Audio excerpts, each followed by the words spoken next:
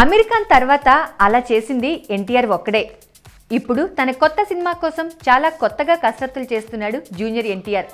అసలే మన తెలుగు సినిమాల్లో హీరోలు డబుల్ రోల్స్ చేయడం ఈ మధ్య కాలంలో పెద్దగా కనిపించట్లేదు. అటువంటిది మనం ట్రిపుల్ రోల్స్లో మన హీరోల్ని చూసి చాలా కాలమే అయింది. ప్రస్తుతం పూణేలో ఈ సినిమా తాలూకా పాటను ఒక మహల్లో షూటింగ్ చేస్తున్న సంగతి తెలిసిందే. అయితే ఈ పాట కోసం ఎన్టీఆర్ కాస్త గట్టిగా కష్టపడాల్సి వస్తుందట. ఎందుకంటే ఒకేసారి ఈ పాటలో మూడు క్యారెక్టర్లు కనిపిస్తాయి. కాబట్టి ఆయన మూడు పాత్రల కోసం రకరకాల హావభావాలు బాడీ లాంగ్వేజ్ మార్చడమే కాదు ఖచ్చితంగా బట్టలు కూడా మార్చాలిగా.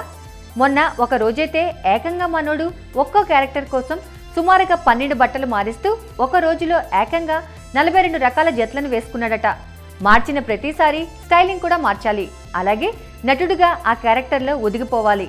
ఇది నిజంగా పెద్ద ఛాలెంజ్ అనే చెప్పాలి.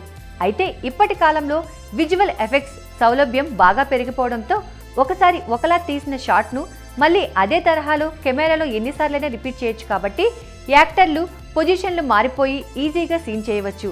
ఆ మధ్యన అమీర్ ఖాన్ ధూమ్ టూ కోసం ఇదే తరహాలో చేశాడు. ఇప్పుడు జూనియర్ కూడా అదే టెక్నాలజీకి తన నటనా చాతుర్యం మిక్స్ చేసి రెచ్చిపోతున్నాడట.